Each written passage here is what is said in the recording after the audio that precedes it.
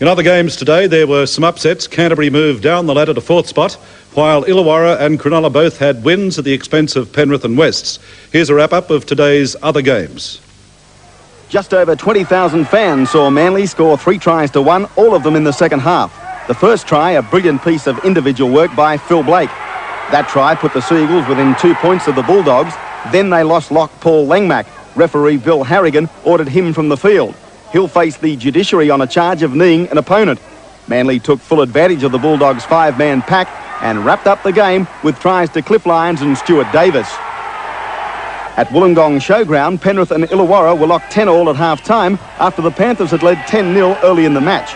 Both scored five tries, and the Panthers led everywhere but the post, with Illawarra taking the lead and the game in the final five minutes.